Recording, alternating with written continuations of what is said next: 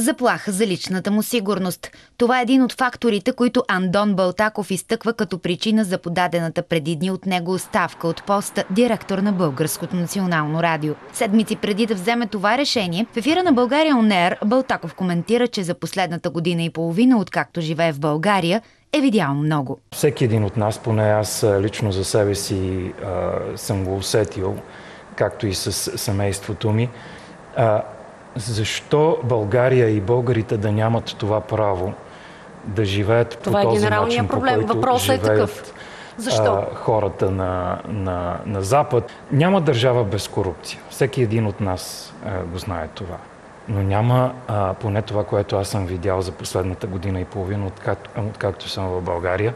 В интервю за Дневник Андон Балтаков разказва и подробности за влизане с взлом в дома му дни преди изборите за народни представители на 11 юли. След разговор с криминалисти, той определя случая като опит за сплашване. Балтаков твърди, че след като говорил за случилото се с министърът на вътрешните работи Бойко Рашков, а дни по-късно и с премиера Стефан Янев, реакция не последвала. Имах лична среща, бях на интервю в радиото, спомена, че имал някакво такова притеснение.